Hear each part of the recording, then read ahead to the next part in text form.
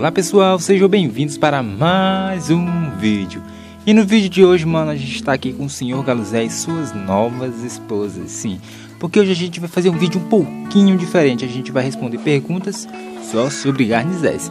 Então, mano, sente aí, deixe seu like ou se inscreva se você não é inscrito e acompanhe o vídeo que tá muito legal. Então vamos para a primeira pergunta. A primeira pergunta é de Ednádia Feitosa. Pode cortar a asa do garnizé macho? Então, se a ave estiver fugindo do seu quintal, é recomendado que você corte, né? Porque afinal você pode perdê-la. Então, você pode fazer um corte aí nas duas asas, que assim vai evitar que ela voe para longe. Mas se a ave não estiver fugindo, não é muito recomendado, porque é um charme da ave, né? Até ajuda ela a se equilibrar, é como se fossem os, os braços delas, né? Assim dizendo. Então, só corte se for realmente necessário.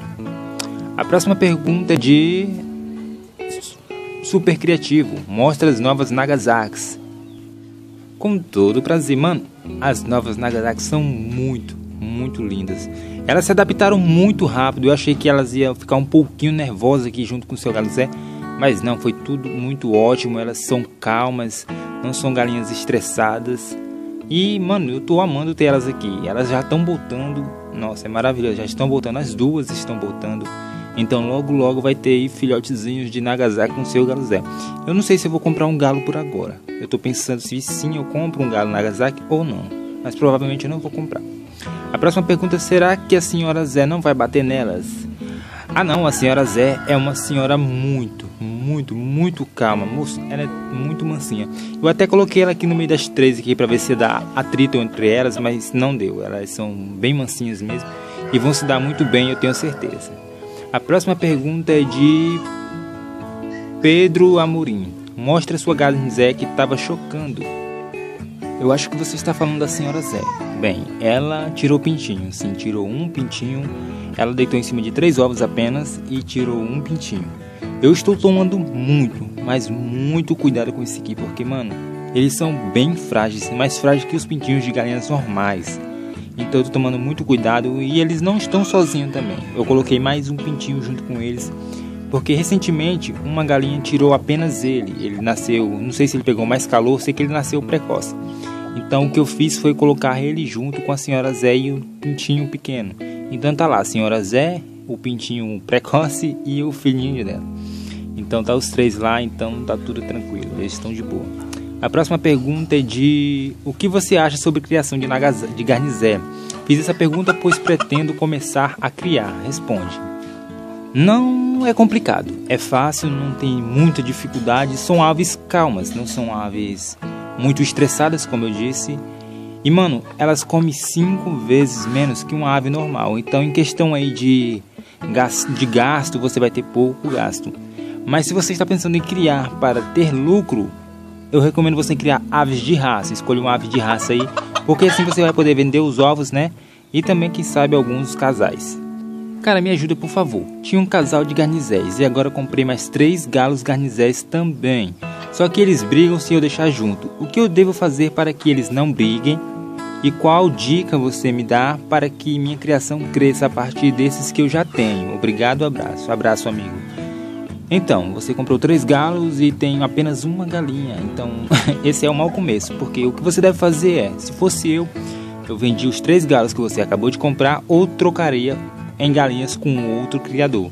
Assim a sua produção vai aumentar mais ainda. E os galos com certeza não vão ficar juntos, porque garnizés são bastante territoriais em questão aí de, de galinhas. Então, dois galos, três galos, com certeza não vai dar certo.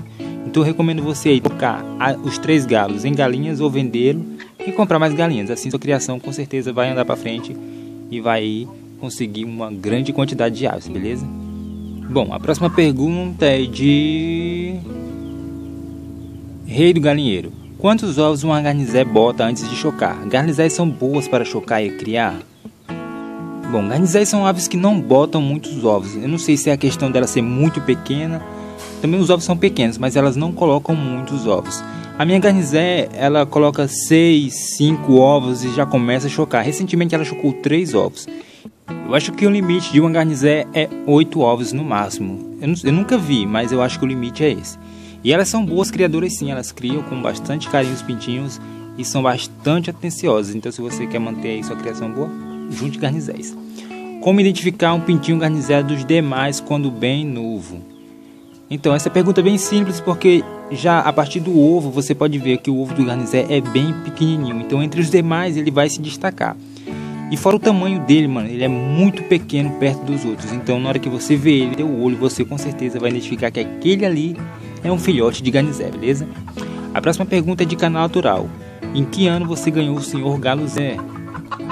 Bom, eu ganhei o Senhor Galo Zé ano passado. Eu não lembro bem o mês e o dia, mas eu sei que foi ano passado.